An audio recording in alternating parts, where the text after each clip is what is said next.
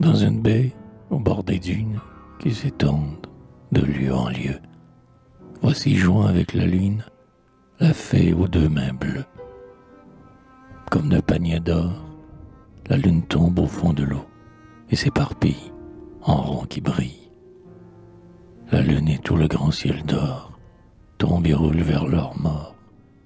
Au fond de l'eau profonde et bleue, dont reine la fée aux deux mains bleues.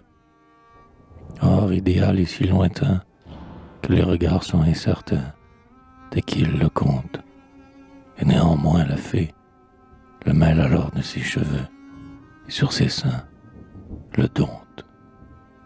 Elle se parme en ses reflets brusques et violets, le jette au sable et à la vase, sans se douter un seul moment que dans les loins du firmament, cette or aimante et fait brûler l'extase.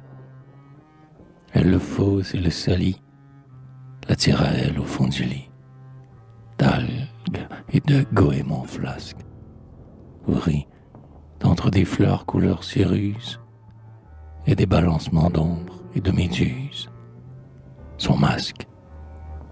Et l'or divin est employé, sans peur qu'il soit l'éclair qui tout à coup fulgure, pour le plaisir et la luxure. Et l'or divin, c'est l'or noyé.